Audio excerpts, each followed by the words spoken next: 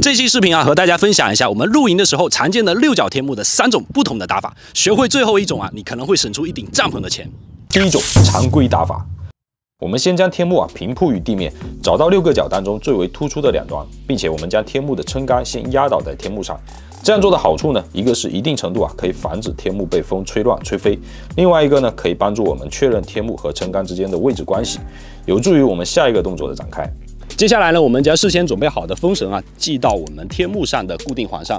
那这里有个知识点啊，大家一定要记住，就是杆子和风绳的角度关系。这一步啊，将决定于你是否能够一步到位的将天幕撑起来。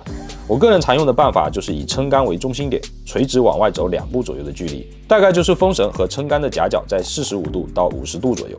并且风绳这个时候呢，我们要把它放在撑杆的大约三分之二的位置。这么做的目的呢，是为了我们撑起天幕之后啊，可以保留一定的空间用来收缩风绳。另外一端也是一样的操作。接下来我们就可以把杆子由内往外慢慢的支起来，记住是由内往外慢慢支起来。这样做的好处呢，是我们在最后会得到一个相对稳固的倒梯形的受力结构。那你的天幕啊，可以更加的挺拔饱满，这也是一顶天幕搭的好不好的关键所在。当一端支起来后，这个时候你就不用担心它会倒了，因为三角力学的关系，杆子已经被风绳啊紧紧的拉住了。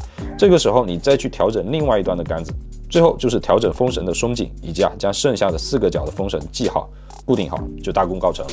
我们今天采用的是这款七维的六角天幕。这款天幕有个很大的优点是在于它的撑杆是比较粗壮且能够调整伸缩高度的。将杆子拉高之后呢，我们可以得到一个非常奢侈的空间。我的身高是一八零，在天幕底下我基本上是不用弓着背的。这种方式搭建完的天幕啊，空间感还是非常好的。我们可以在底下摆上桌子啊、椅子啊，在里面吃饭喝茶还是非常舒服的。第二种防风正幕式打法。像这种打法呢，主要是在我们遇到大风的情况下，它可以起到一个挡风正幕的效果。同样，我们将天幕平铺于地面，找到外侧的两个孔眼，直接的下钉固定。接着，我们准备好两根高度相同的撑杆，用于支起两个对角。